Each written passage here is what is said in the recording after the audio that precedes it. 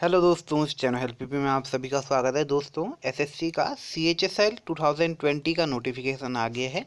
जो बच्चे स्टेनोग्राफर की तैयारी कर रहे हैं, वो इसको भी ज़रूर फिल करें, क्योंकि ये मिलता जुलता ही है। बिल्कुल, आप देख सकते हैं सी एच एस एल का एग्ज़ाम है टू का।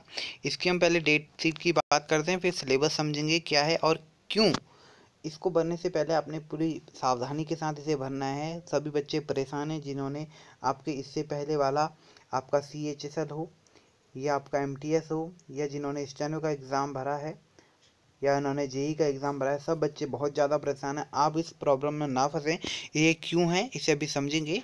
इसकी डेट देख लेते हैं, क्या है देखिए। डेट है इसमें सबमिशन की, आप देख सकते हैं, ऑनलाइन सबमिशन की छः तारीख से स्टार्ट हो रहा है, से पंद्रह तारीख तक, ठीक है। पंद्रह तारीख तक दिसंबर पंद्रह तारीख तक है। तो आप इसे फिल कर लीजिएगा पहले। लास्ट डेट ऑनलाइन फ़ीस जमा करने की सत्रह तारीख और ऑफलाइन आपकी उन्नीस तारीख है। तो ये डेट थी आपकी पंद्रह तारीख तक लास्ट है। और जो टायर वन का इन्होंने शेड्यूल लिया गया है, वो आपका बारह चार, अप्रैल महीने में 2021 के बारह चार में इसे निर्धारित किया गया है, ठीक है? बात करते हैं पे स्केल की तो आप यहाँ पर देख सकते हैं, इसमें तीन, चार कैटेगरी में बांटा हुआ है। एलडीसी लोअर डिवीज़न क्लर्क जिसमें आपको पे लेवल टू मिलेगा। लेवल क्या होते हैं, मैंने आपको इससे पहले वाली वीडियो में बताया हुआ है, आप जाके देख सकते हैं। पोस्टल असिस्टेंट लेवल फोर ठीक है? Data entry operator level four और डाटा एंट्री ये भी लेवल फोर की है। तो ये डाटा एंट्री दो अलग अलग है data entry level four data entry level five यहाँ पर अलग अलग है वन पॉइंट थ्री और data entry operator one point four ये अलग है आपका, ठीक है? तो चार अलग कैटेगरी चार कैटेगरी में जैसे इस चैनल में ग्रेड सी एंड डी में डिवाइड किया जाता है, वैसे ही सी एच एस एल में आपको चार कैटेगरी में डिवाइड करा गया है L D C postal assistant data entry operator और डाटा एंट्री ऑपरेटर अलग अलग टाइप के हैं तो इसे चार कैटेगरी में डिफरेंस करा गया है, ठीक है? वैकेंसीज आपकी अपलोड कर दी जाएँगी और इसकी जो स्पेशल थिंग्स हैं, उसे हम देख लेते हैं क्या क्या इसमें ऐसा स्पेशल है। बी आर ओ के लिए स्पेशल जो आपकी फिटनेस चाहिए होती है वो आपको एट द लास्ट में मैंसन करा गया है। एज आपकी क्या होनी चाहिए? एज आपकी एटीन टू सेवनटीन होनी चाहिए। ध्यान रखिए एटीन टू सेवनटीन होनी चाहिए। एक एक दो हज़ार इक्कीस को। जो एक एक दो हज़ार इक्कीस है, एक एक दो हज़ार इक्कीस से डेट आपकी काउंट हो रही है तो इसमें आपकी जो डेट होनी चाहिए, आप अठारह से सत्ताईस साल के बीच में होनी चाहिए। इस चीज़ को ध्यान रखिएगा, ठीक है? Eighteen to twenty seven year के बीच में होनी चाहिए। यहाँ पर लिखा भी हुआ है, आप देख सकते हैं।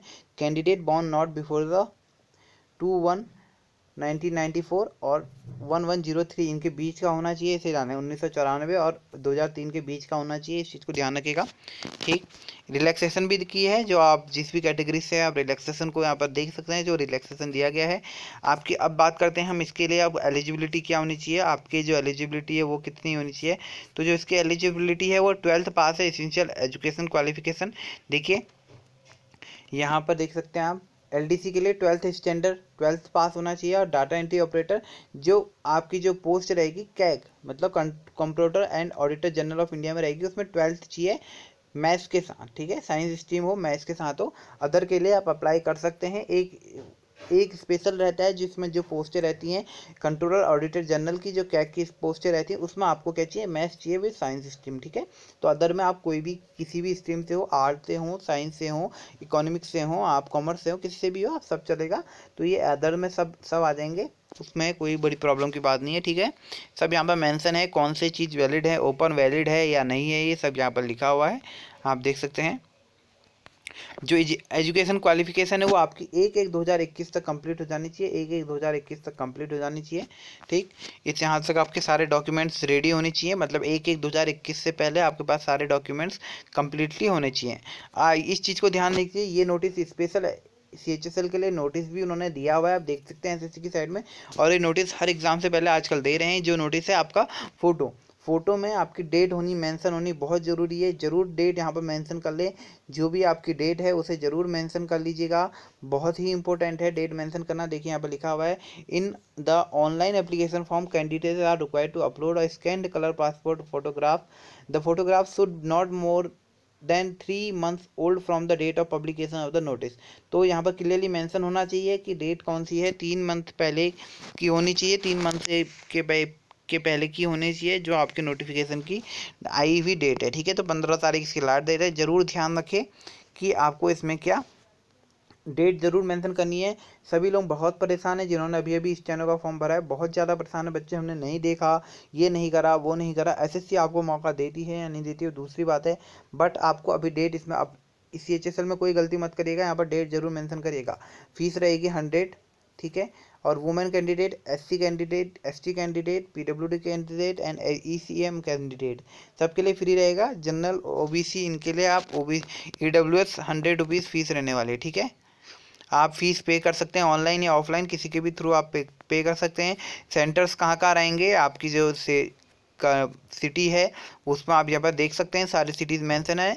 कहाँ पर, कहाँ कहाँ पर सेंटर रहने वाले हैं, ठीक है? अब हम बात करते हैं कि स्कीम क्या रहेगी सिलेबस क्या, किस तरीके से होगा? पहले देखिए, सबसे पहले आपका टायर वन होगा। टायर वन में आपके English general intelligence quantity aptitudes और जनरल अवेयरनेस तो ये रहेंगी जिसमें पच्चीस मार्क्स पच्चीस क्वेश्चन पच्चीस क्वेश्चन पच्चीस क्वेश्चन पचास पचास मार्क्स के दो सौ मार्क्स का रहेगा। एक क्वेश्चन दो मार्क्स का रहेगा, ठीक है?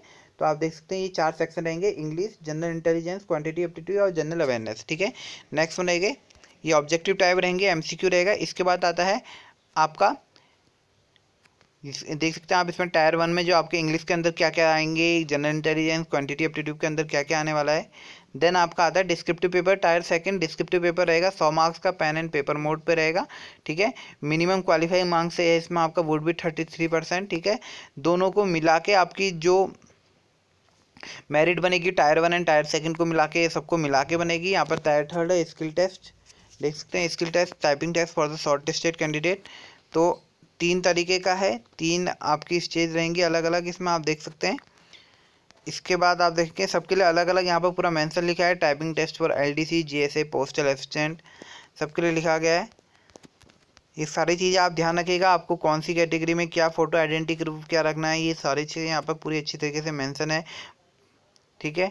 पोस्ट प्रेफरेंस आपका देखिए the examination is being held for multiple post of various ministry department detail option of various post ministries officer will be candidate as a online before document verification document verification में आपसे post preference पूछी जाएगी। Document verification के time पे होगा सारी process तो ये सारी चीज़ें थी। ध्यान रखिएगा इंपॉर्टेंट चीज़ ये है कि और चीज़ तो सेम ही है, ऐसा कुछ ज़्यादा वो नहीं है, अगर आप पहले से बढ़ते आ रहे हैं। बट इस बार जो नया है, वो नया यही है कि आप फ़ोटो विद डेट फिल करअप करिएगा।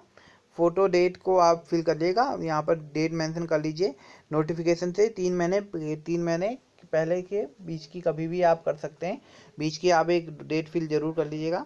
अगर आपके कोई डाउट्स हैं तो आप कमेंट बॉक्स में लिख सकते हैं। Thank you so much channel में आए नहीं, चैनल को लाइक सब्सक्राइब शेयर कर लीजिएगा। बेल आइकन को दबा लीजिएगा।